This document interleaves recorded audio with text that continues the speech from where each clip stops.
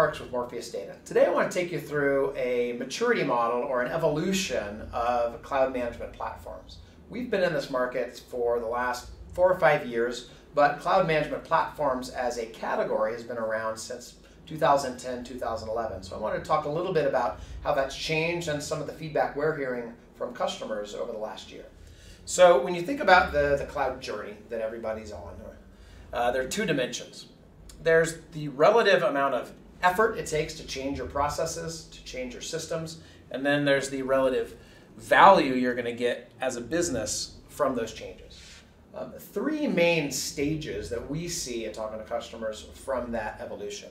Um, and they generally fall uh, across a range of who's driving the conversation. On the one hand, you've got a set of operational concerns around command and control, around governance, around policy. On the other hand, you've got a set of development users who are trying to release new features very quickly to help companies differentiate in their markets. You have to figure out a way to meet both of these needs, and that's really where the evolution of cloud management um, is going. So, in the early days, you had a lot of people looking at rehosting or lifting and shifting their applications to the public cloud. There was a perception that there'd be some cost benefit, um, but really a lot of that now has, uh, has really come down to agility, the ability to deploy new applications very quickly.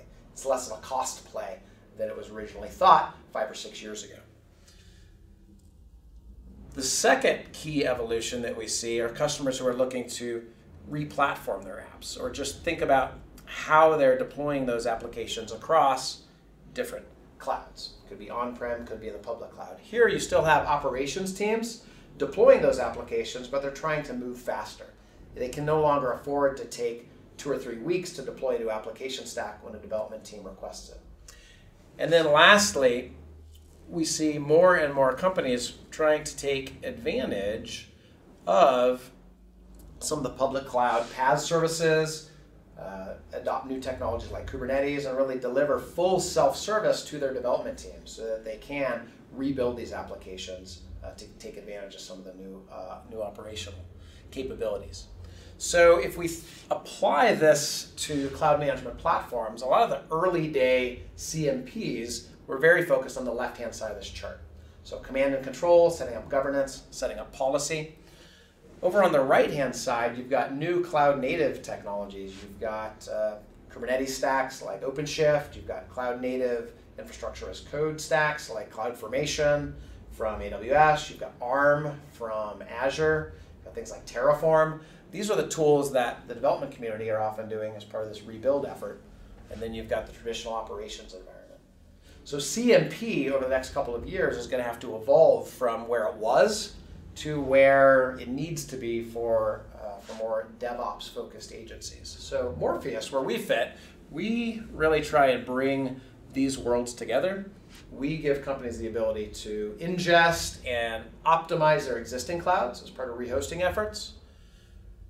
We help automate a lot of the tools and processes that are already in place so ops teams can move faster as part of replatforming efforts. But really, our goal is to get you to the full self service capability to help development teams move very quickly without having to wait to get resources assigned. So, at a glance, that's where we're headed, where we think the industry's headed, and we'd love to help you uh, get there no matter where you are on this journey. Thanks a lot and have a great day.